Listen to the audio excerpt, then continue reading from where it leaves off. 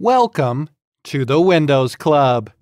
If you wish to reset the Settings app on your Windows 11 system, then either read through this article on the website or simply watch this video. I will guide you through the procedure. First of all, search for the word Settings in the Windows search bar. You'll find the Settings app in the search options. Right-click on it. From the right-click menu, select App Settings. In the App Settings window, scroll down to the Reset section. You will notice a button for Reset. Please click on it. You will get another prompt to confirm the reset. Please click on it again. Doing so will reset the Settings app. Isn't this easy and interesting? If you have any doubts, please go to the original article on the Windows Club and write your question.